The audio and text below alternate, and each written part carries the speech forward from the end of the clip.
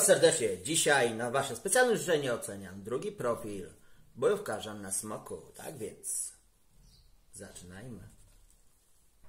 Dlaczego nazywam ten profil drugim profilem bojówkarza na smoku? Dlatego, że nie potrafię odczytać jego nazwy.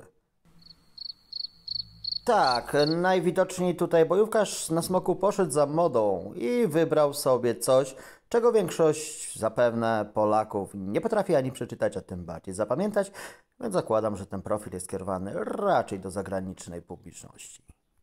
Jeżeli chodzi o content, mamy tutaj edyty przedstawiające nam różnego rodzaju auta.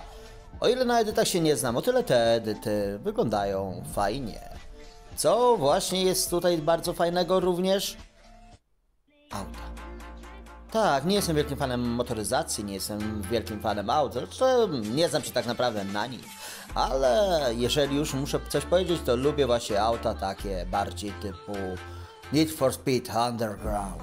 Nie dlatego, że one są szybkie czy coś, po prostu moim zdaniem wyglądają jak fajne, małe dzieła sztuki. Tak więc podsumowując, jak lubisz popatrzeć sobie na fajne autka, zapraszam na ten profil. Rafał Zalewski. Dziękuję bardzo. Życzę miłego dnia.